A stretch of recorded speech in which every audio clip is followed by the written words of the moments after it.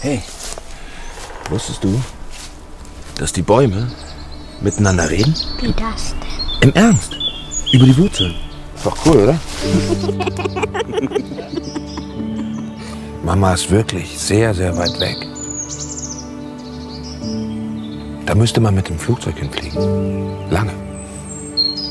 Und dir wird immer schlecht beim Fliegen. Siehst du? Wir machen uns das hier nett.